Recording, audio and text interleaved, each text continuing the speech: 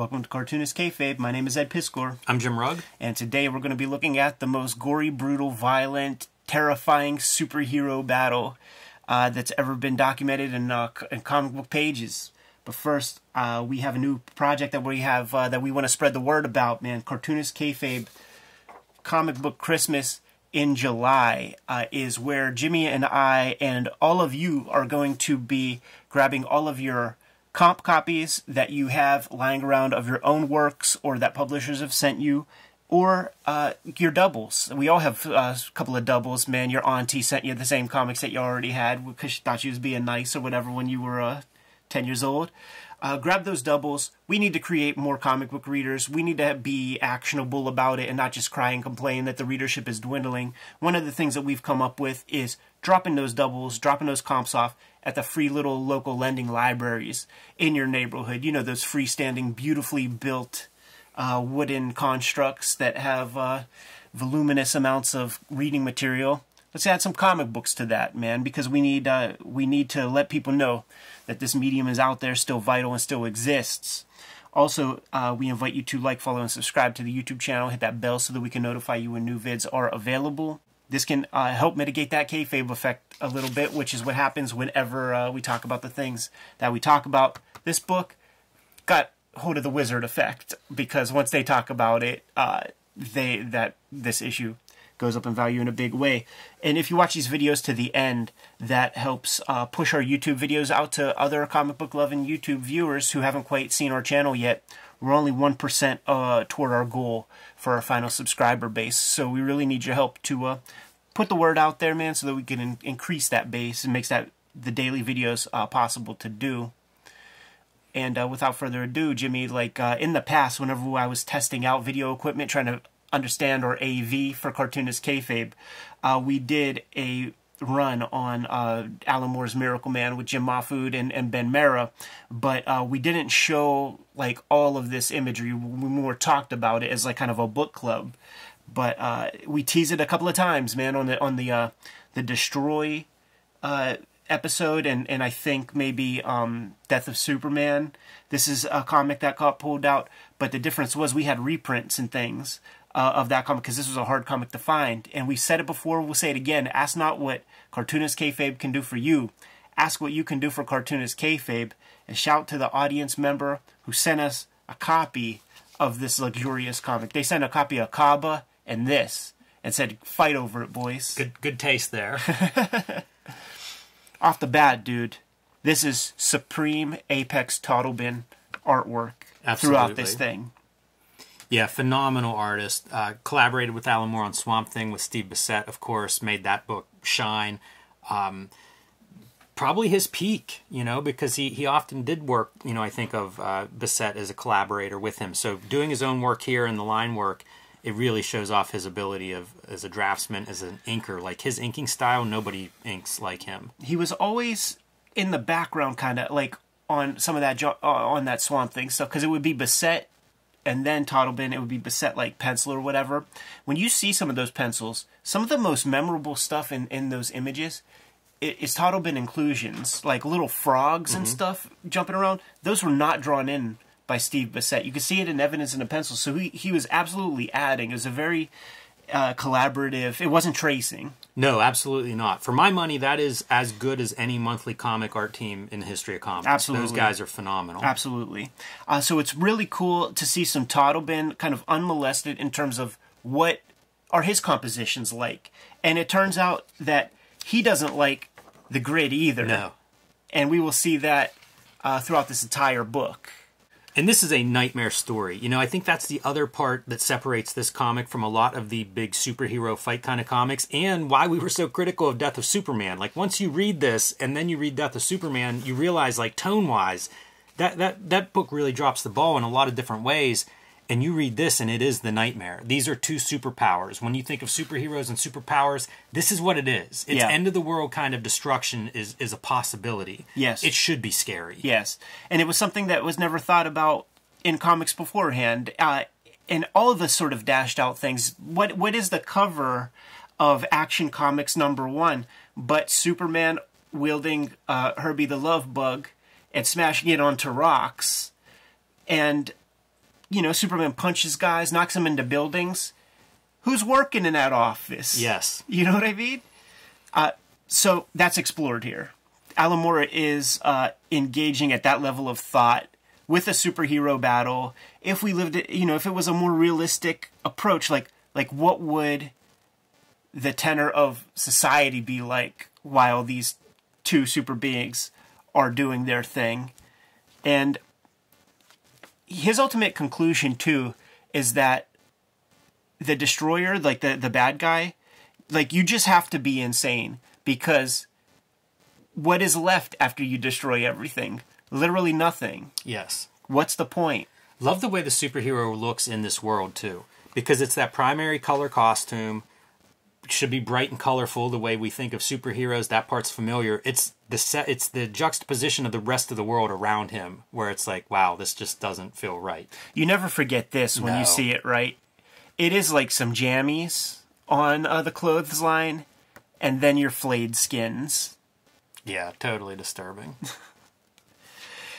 any opportunity Totleben has to like add bodies, he will put them. So you got your guys impaled by Big Ben's clock, and then just rebar and steel beams, skulls everywhere, rubble.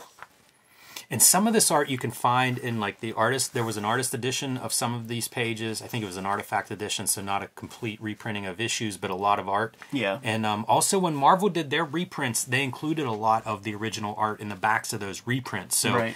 I, I was trying to figure where I first read this, and I honestly I don't remember. It must have been early digital copies. Sure. Yeah. Yeah. Totally. Because I have before this, I had every issue but this one.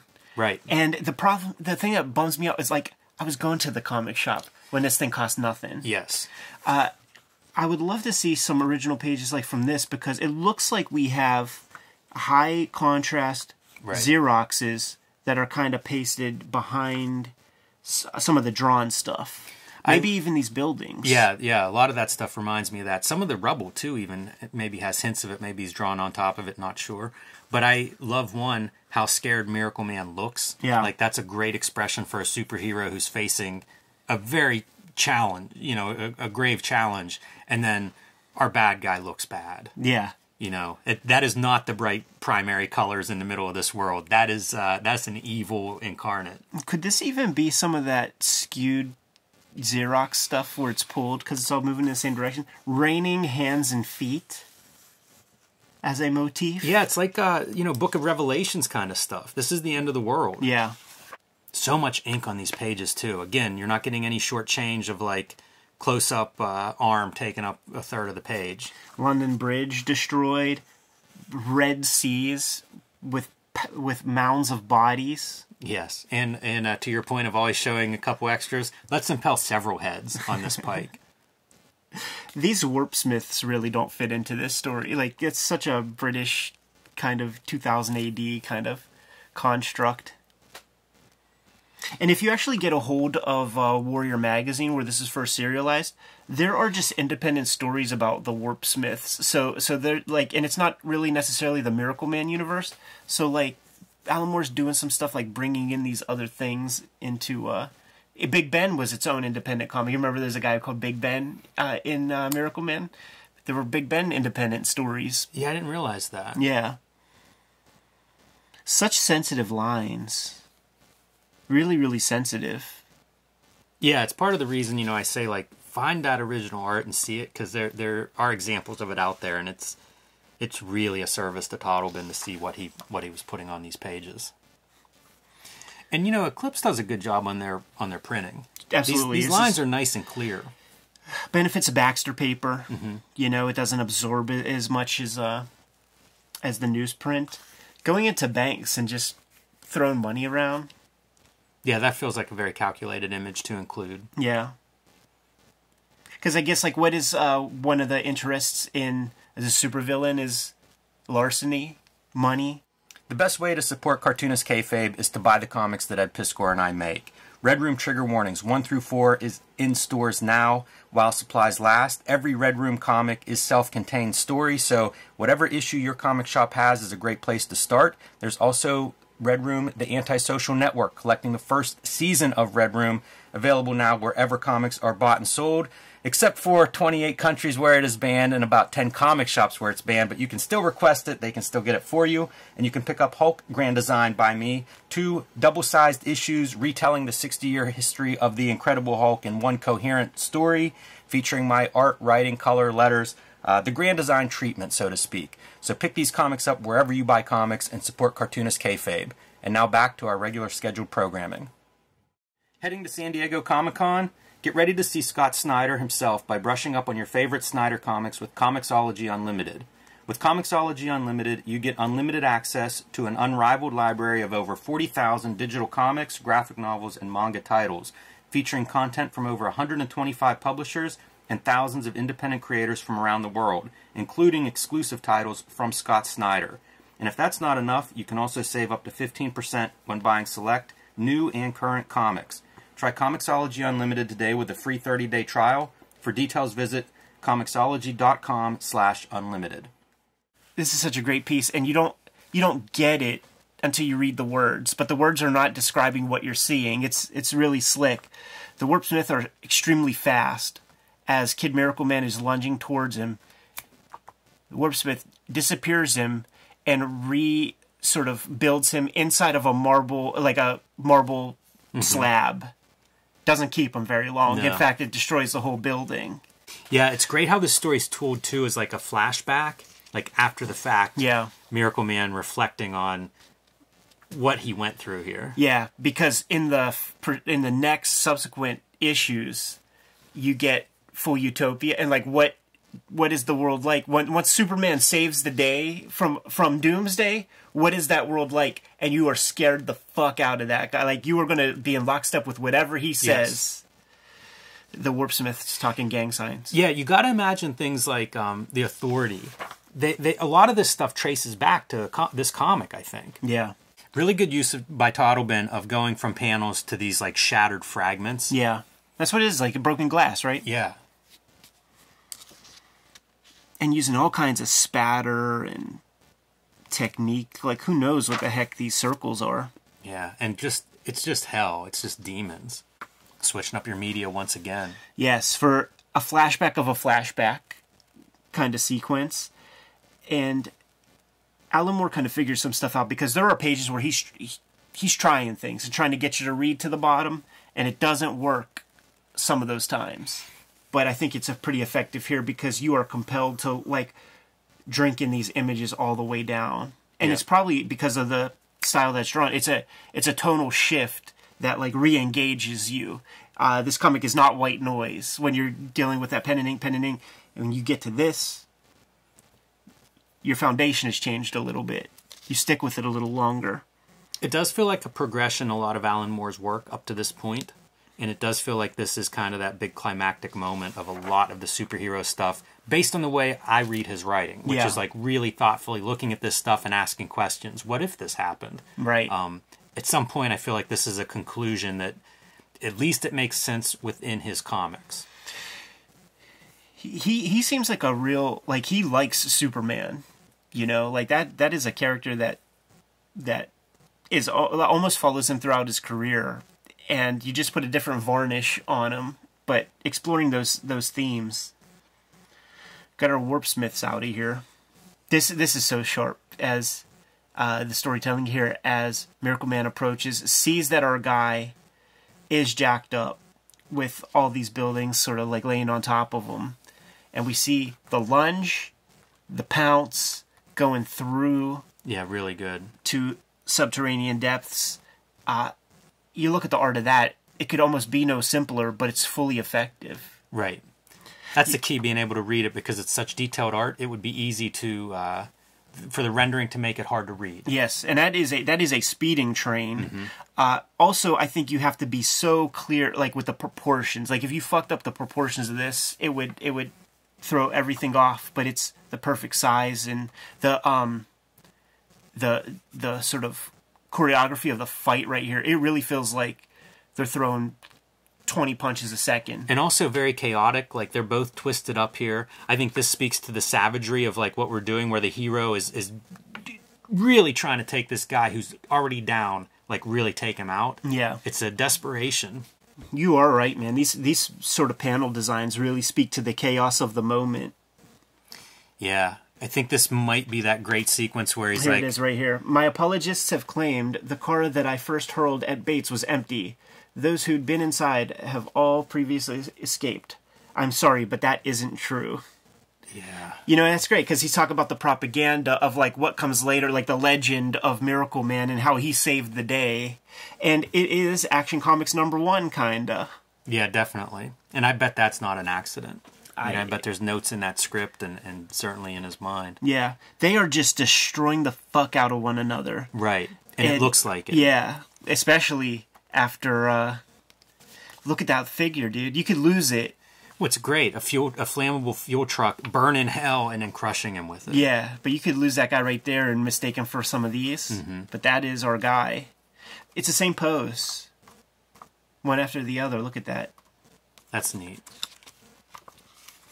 Again, these comics are so thoughtful that if that's a happy accident, gi- I give it credit. Like it feels like it fits in. It feels like it's planned.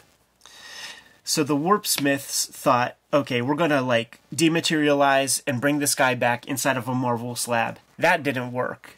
So option number two, let's take this rock and transport it into our boy's head. And that is ghastly shit right there. There's no brains anymore. It's just like little little remnants of memory or something, but the instincts are still there. It's like it's kind of like Verne Gagne uh, at the end of his day. You know what I'm saying? Uh, where he's gonna try to protect himself. Does that uh, Warp Smith dude in? Finishes He him does, off. but he gets one last shot in. The Warp Smith ac- accounts for himself well, you know, with with this last eye beam that he's sending through him. And again, like the grotesque part of the fight, like this is just all out. Anything goes. Whatever you could possibly do to try to stop this guy. He's got rocks lodged in his skull. He's got an eye beam through his chest at this point. They've all been set on fire. There's only one thing he can do, and it was a traumatic experience to say the least. That made the boy finally say Miracle Man to turn into this dude and bring back the demon. Uh, so the only way that he can get out of this painful predicament is he has to try to gurgle out and burp out the word Miracle Man, which he does. being able to draw this kind of thing too to really like express some sort of physical discomfort hard to draw Absolutely. and i mean you have to do it like that totleben's got to nail this for this to be as effective as possible Yeah, and this has to happen on this side of the book because you need it to be the page turn where the metamorphosis happens, and it's the doe-eyed, innocent boy. And by the way, when he got dematerialized out, if you remember, he was getting raped in like a boys' home, so his pants are down, and he's in that exact same position when that first thing happened. Uh, the boy is that naive kid and is so sad that he allowed that to happen and he sees the destruction. Miracle man realizes like he has this vulnerable figure. It's and uh, assures the boy that he has found a way to make sure that kid miracle man will never come back we will never have to deal with this problem and this this curse little johnny bates master bates as they call him before they have his way with him in previous issues we're going to cure you right here and now. Snap, crunch. You see the blood gimmicks right there. You see the boy so happy. yeah and look how mangled up miracle man is He had that gas truck burn his face off. A little freaking cum shot of blood on his face. And uh, this is one of those pieces that I was looking at that I don't. I bet if we see the ori- like the printed page, zero of these I think are uh, the original art because there's all kinds of drawing. yeah it makes me want to dig it out now and see if that's uh, if that's in any of those co- copies i have Yeah, but it's the same moment, different shards as the, the, the camera pulls pulls out. love the coloring of that background This right It's- here? no like here you Yeah. know it's it's just destroyed it's destruction Yeah, there's no daylight visible you know i can just imagine the sky is black yeah. Tattered ass outfit. Yeah, that's the money shot I always think of with this issue. You don't think you, you don't forget this one. And I wonder if that's where it's pulled from. Um, you know that previous page. It looks almost too small to be to be blown up, but Yeah, it looks like a shrunken version of this stuff. Because like, look at the it fits in fidelity. Yeah, It's like like the big the big one is bigger. You know. but I love how that shard fits into the two-page splash. Yeah. Just them in the midst of all this. So like little Johnny Bates, the boy, like is seeing this before he gets his neck snapped. Yeah, and it's so deranged. Yeah, arms yeah. severed, running with their children. We've we've seen photo like like Vietnam combat photography and shit. Like you know Pulitzer Prize winning photos that were some version of that. it's genuinely disturbing. Oh yeah. And these are, you know, these are refugees. Like these are the last people. These are the people who are going to carry on the tale and talk about, you know, that that fateful day, that fateful experience. And again, you get those primary colors. The, the still saturated blue colors is uh, against that ghastly world. That was 2 years ago. So this is the modern day and all of the desiccation like they're nothing but bleached skeletons now. Now it's time to pick up the pieces and uh create your utopia. And that's the last uh, Alan Moore issue when he sets up the fascistic Ubermensch who's looking down on all the people from his citadel in, in the sky with them little plants with the lips. You remember Yeah. that? The little plants, plants with the lipstick? I love the to be concluded. That's a really strong piece. Uh, You know, I think that I always think of the lettering as part of these pages, and I feel like that's a really nice, almost poetic comic book piece of lettering. Do you have the Neil Gaiman issues? I have like one or two, and the, and uh, he and Mark Buckingham are going to conclude. Like that was just announced very recently. Uh, after Alan Moore does his last piece, I don't know where they can go from there, and I'm very curious what uh, th- how those Neil Gaiman issues read, and what the plan is and was, and if after 35, 40 years, what has changed. It's going to be an interesting book to take a look at, man. There was a comic scene I had as a kid, and it was and it had Neil Gaiman talking about his Miracle Man plans. You know, it was after he had, I guess, started it. Right. Yeah, it was a, it was a, a certainly an anticipated book at the time. This is uh this is our um argument for, you know, best, most gruesome, violent, gory superhero uh battle. What's yours? Put something down in the in the comments. You know, we we've put a couple contenders. That's a great question. I'm curious to see what people come back with because ultimately, when I think of superhero genre, that's the defining quality is that is, is the fights. Sure. So, uh, yeah, fits well with the whole kayfabe wrestling connection as well.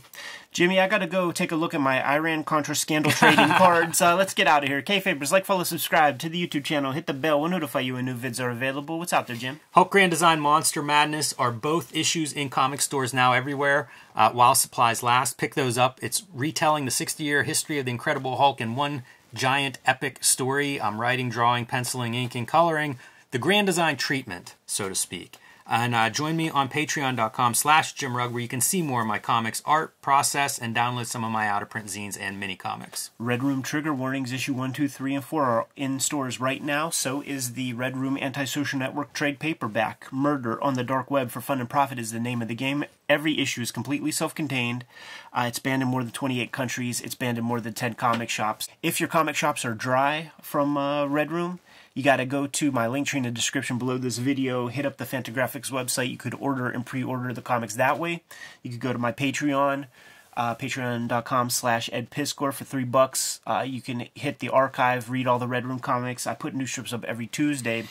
And we are starting Cartoonist Kayfabe Comic Book Christmas in July. It's going to be the last Saturday in July, and we implore you to fill up your free local lending libraries uh, within your neighborhood and, and surrounding towns put some comic books in in those uh, libraries and uh, let's let's let's sow the seeds of an, a new comics readership. What else do we have out there, Jimmy? Subscribe to the Cartoonist Kayfabe newsletter at the links below this video. You can also find links to Cartoonist Kayfabe t-shirts and merchandise below this video. Another great way to support the Cartoonist Kayfabe channel. Given those marching orders, we'll be on our way, Jim. Read more comics.